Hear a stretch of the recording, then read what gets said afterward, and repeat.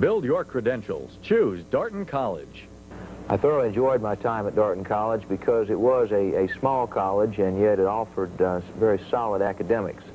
I felt that when I went to take state boards, I was well prepared. I passed the first time.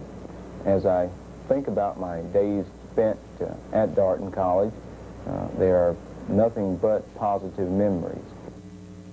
Darton College. Spring quarter registration is April 3rd.